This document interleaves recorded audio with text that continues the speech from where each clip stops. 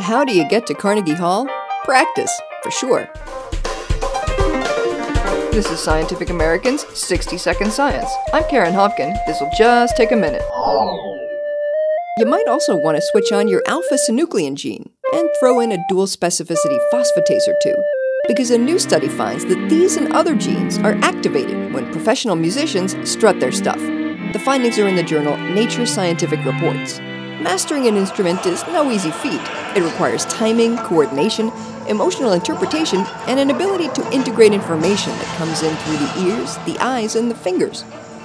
But what gives rise to musical ability, biologically speaking? To find out, researchers took blood samples from 10 professional musicians before and after they played a selection of pieces by Stravinsky, Haydn, Mozart, and Bach.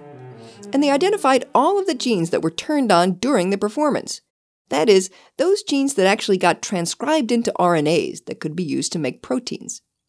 What they saw was a boost in the activity of genes involved in neural growth and flexibility, which could account for musicians' brains being good at forging new connections.